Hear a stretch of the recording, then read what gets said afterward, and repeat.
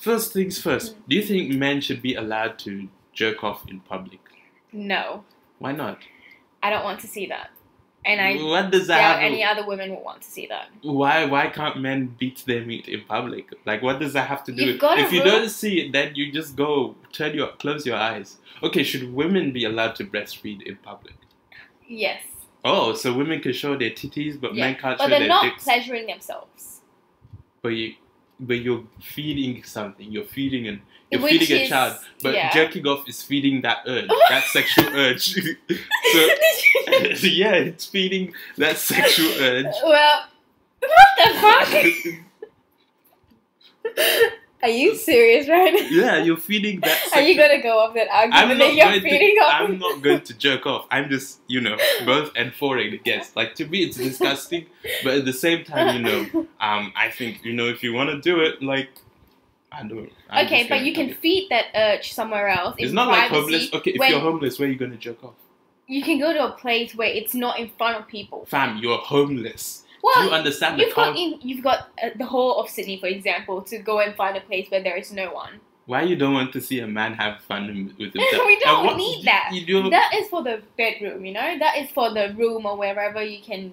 So do if whatever you you were to want go to. to a tribe in maybe South or East Mhm. Africa where a lot of these people are like, you know, naked, but you tell them what? Don't show me your penis. No, it's fine if they show me their penis, but they're not. Oh, it is fine to show you their penis. Oh, I see.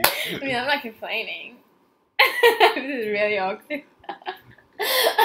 okay then. Why you laughing like an idiot? so you want them to show you their penis? no, but the thing is, that is their culture. So how am I going to be like, How is oh, it their culture? We all used to be butt naked, man. Uh, yeah, but they still are. They still are. Oh, why is it so? Why is it they still are? Like, honestly, let's bring up. Why are we clothed? If you look at those I would say British colonization. no, no, because even in Africa we were clothed before, prior to colonization. Yeah, just like with the um leaves and stuff like that. Is that what you mean? No, we were clothed, as in clothes. With No, no, I'm talking about way back before even like African development and all that. Way back, like. Oh wait, what I say?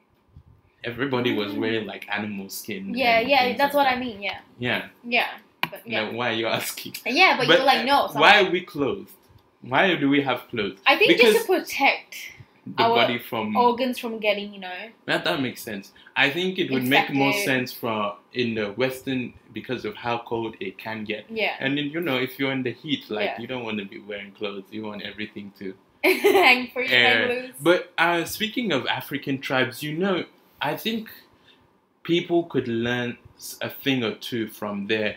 And this perception that they're backward, I don't know. Because you see, when a child is going through puberty or going into adulthood, you see them, they invite, they go on like little retreats or camps with the Yeah. elder men or the elder women, and then they're like, you know, um, here is what you need to do as a man, and the women be like, here is what we need to do as a woman, Mhm. and they train them.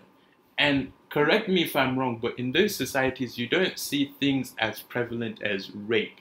Because from the moment they reach that age, you know, they marry them off, they get their own little wife, their own little hut. So, I mean, you might not see because it's not talked about. That could be one reason why you don't see it. yeah. It's not talked about as much Uh-huh. compared to Western society, or even like um, places you know where you've got people who are, I guess, civilized. I don't like that word And, civilized. not civilized, but you know. I don't like you the what I words mean. civilized and the words um, third world or first world because all countries have their own flaws. Yeah. But yeah, I think that's something, you know, just some food for thought. Let us know what you think.